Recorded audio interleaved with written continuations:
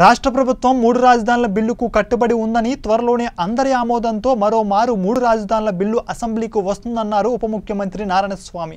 గంగాధర నెల్లూరులో ఏర్పాటు చేసిన మీడియా సమావేశంలో ఆయన మాట్లాడుతూ మూడు రాజధానులతోనే రాష్ట్ర అభివృద్ధి సాధ్యమన్నారు.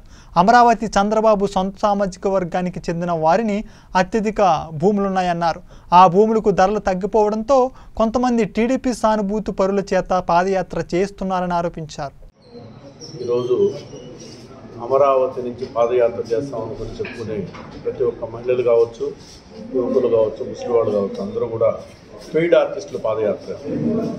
రోజు పేమెంట్తో చేయించుకునే పెయిడ్ ఆర్టిస్టుల పాదయాత్ర. అదే జగన్మోహన్ రెడ్డి గారు చేసిన పాదయాత్ర ఈ ప్రపంచంలోనే ఎవరూ చేయనటువంటి పాదయాత్ర ఇటువంటి పాదయాత్ర ఇంతవరకు ఈ ప్రపంచంలో ఎవరు కూడా ఇంతవరకు చేసింది లేదు. కానీ ఈరోజు అదేదో పాదయాత్ర చాలా గొప్పగా దాన్ని ఎక్కడా ఎవరు చేయని విధంగా ఈరోజు తెలుగుదేశం వాళ్ళు దాన్ని గొప్పతనాలు చెప్పుకుంటున్నారు. దాన్ని పాదయాత్ర కింద కాదు అది కార్యకర్తలు పెయిడ్ ఆర్టిస్టులు కలిసి చేస్తుండే పాదయాత్ర. ఈరోజు మన రాయలసీమకు సంబంధించి రాయలసీమలో వాళ్ళు వచ్చారు.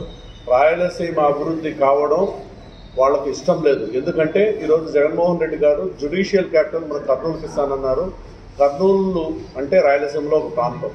ఈరోజు రాయలసీమ అభివృద్ధి అడ్డుకునే దీంట్లో వాళ్ళ పాదయాత్ర జరుగుతూ ఉంది మనకు.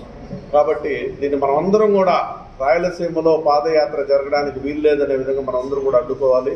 కానీ మనం నిజాయితీ కలిగిన వ్యక్తులం కాబట్టి ఈరోజు వాళ్ళ పాదయాత్రని రెడ్ కార్పొరేటర్స్ ఇన్వైట్ చేసాం చేసుకోండి ఇబ్బంది లేదనే విధంగా.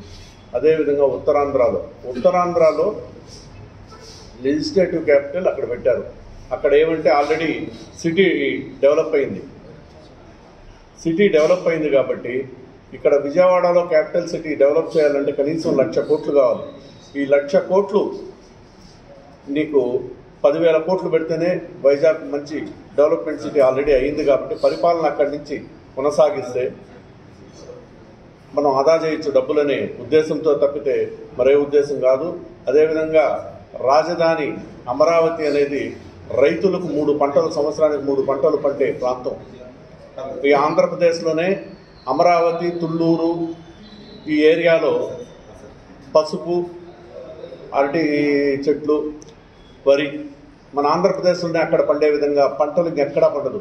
అటువంటి స్థలంలో అసైన్డ్ భూములు ఉండే స్థలాన్ని చూసి పేదల భూములు లాక్కోవాలనే ఒక దురుద్దేశంతోనే చంద్రబాబు నాయుడు గారు అక్కడ అమరావతిలో క్యాపిటల్ సిటీ కావాలనే దురుద్దేశంతో పెట్టారు.